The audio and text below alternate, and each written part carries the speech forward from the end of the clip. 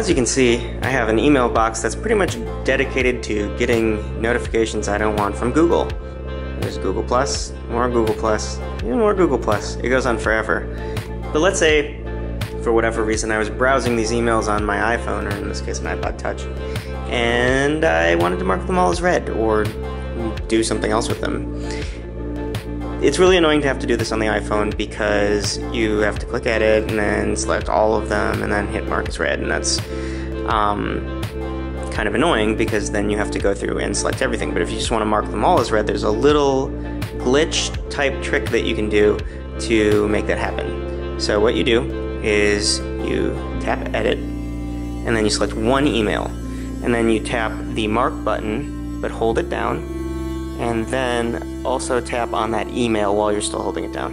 It's kind of hard to do with one hand. But once you've once you've unselected that email you already selected, you can let go of the mark button and then tap mark as read. And then the iPhone is like, wait, but what am I supposed to do with no emails? So it just assumes by selecting no emails you mean all of them, and you can just mark everything as read. And as you can see, all these wonderful Google notifications are taken care of.